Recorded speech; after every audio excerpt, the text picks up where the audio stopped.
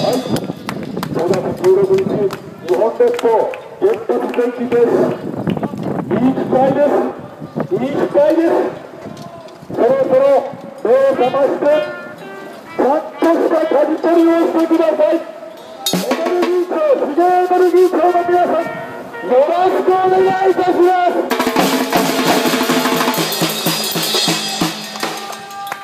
それではね風も強くなってまいりました。そして私